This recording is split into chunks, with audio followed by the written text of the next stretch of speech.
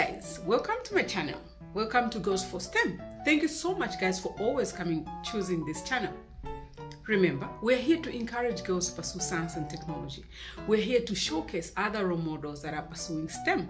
We're here to expose the girls to the endeavors, so many careers in this uh, new era.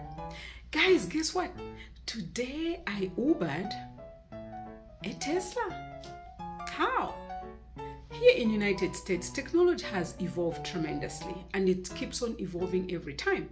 So uh, we're given an opportunity to start going home or going wherever you want using a Tesla as an Uber. So guys, today is my first Tesla Uber. So I looked at my phone when I ordered um, Uber and it was a Tesla, a black Tesla. So guys, I hope I'll be able to get so much um, around inside uh, the Uber Tesla so you can see what it is.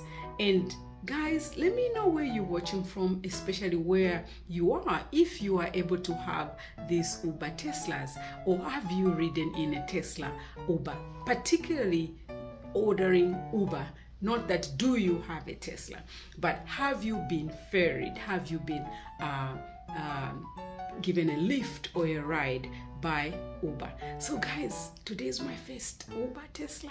Let me know guys if you've had a Tesla before, if you've had if you've ridden into a Tesla as an Uber. Leave a comment below and share with your experiences.